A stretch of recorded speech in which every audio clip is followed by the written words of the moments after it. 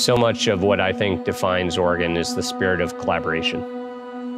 Great wine at the end of the day is going to come from great vineyards. And for us, the investment in vineyards, great grower partners, is key to our success in terms of the resultant wines. When I first started in the wine business, Oregon wines were barely found outside of Oregon.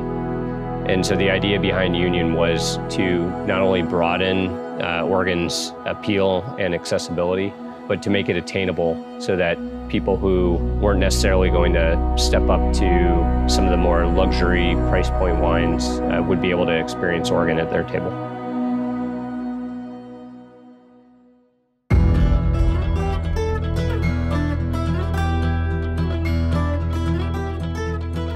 Oregon is so much about the vintage.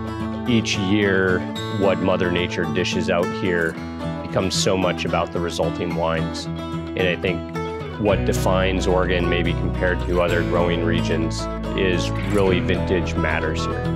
If you're wanting to explore Oregon, I think in part you have to explore it with vintage. Farm to bottle, in my mind, is both working in the vineyard, having grower partners, actually harvesting fruit, and we're actually working with fruit all the way through to making it into wine and then blending and bottling or canning our own products.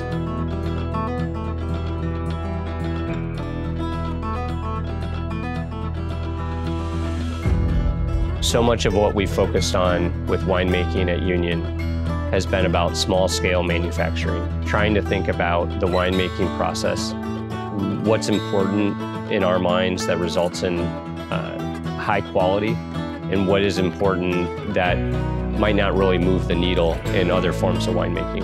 And as we've refined and looked at that process, we've kind of come up with our approach to both get efficiency around the way that we make wine, but also things that we believe contribute to the ultimate quality of what we do. I think for winemakers, often the thing that they need to do is stay out of the way and allow the quality work in the vineyard to show through, and that translates to great wines.